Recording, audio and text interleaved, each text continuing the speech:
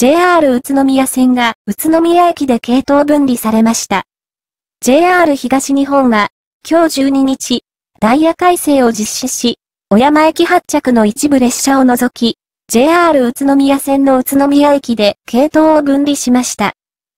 宇都宮駅以北では、ワンマン運転を行う新型車両 E131 系、宇都宮駅以南では E231 系と E233 系による運行となりました。小山駅から宇都宮駅間の一部の下りでは E131 系によるワンマン運転が実施されます。